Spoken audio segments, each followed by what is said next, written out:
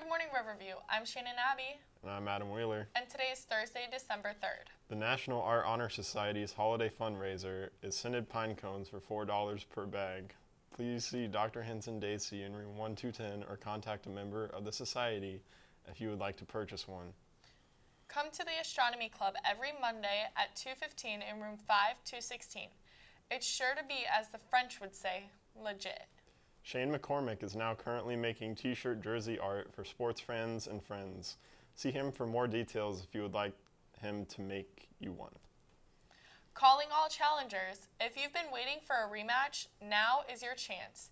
The Computer Science Club will be hosting a Christmas Smash Bros tournament next Wednesday, December 9th, after school in room 5236. But we need your help. If anyone can supply a Nintendo Wii console, please bring it to room 5236. Without your support, we can't settle in a smash. Attention seniors, I hope you're ready to show your beard growing skills because it is time to see who has the most lustrous locks.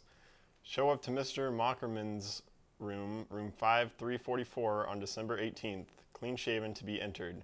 Then all you need to do is grow that facial hair like you've never done it before.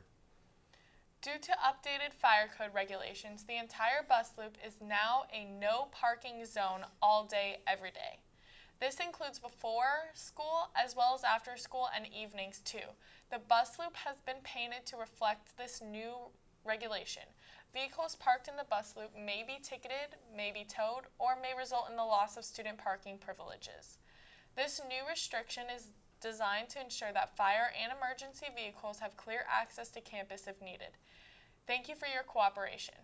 Please support the RHS Sciasis program and have dinner at Blaze Pizza today from 5 to 9 p.m. Blaze Pizza is located across the parking lot from the Super Target that is opposite the UTC Mall. The actual address is 215 Cattlemen Road, 941 355 8400. Choose your own toppings at the pizza bar. Gluten free crust is available. 20% of proceeds go to the Sciasis program.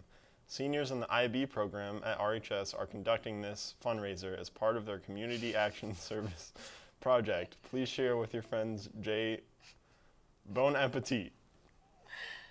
The seniors took their senior panoramic picture yesterday. Here's a little video showing what it was like.